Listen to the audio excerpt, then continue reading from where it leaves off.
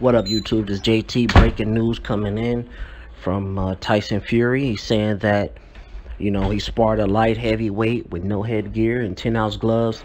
And he got his motherfucking ass whooped, dropped three times on Instagram, on video. He got a cut over his eye, two black eyes. I mean, it's not looking good for him, man. I mean, I don't know if this is mind games or not, but I mean, it looks like he has been taking a beating.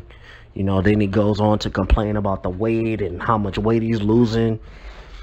So I don't know, man. You know, I really, I'm rooting for the guy, man. But he is one of the realest mother.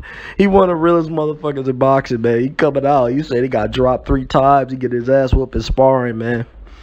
You know, but you know, I'm rooting for the guy because we know, we all know what would happen if Klitschko get these titles again, man you know, it's fucking over, man. You know, it's gonna be, you know, the same shit. They're gonna run the Ukraine, you know, hold all these title defenses up, not fight anybody, duck and dodge the top guys. I mean, I'm sick of fucking Klitschko, man. You know, and it's a, a breath of fre- a breath of fresh air that a young uh, champ from the UK got the belts, man. You know, and uh you know, I don't know, man. I don't know.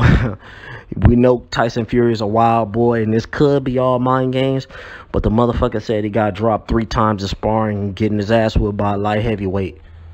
So uh, it is what it is, man. I'm just the the messenger, so don't kill me, man. It's the young boy JT. I'm out.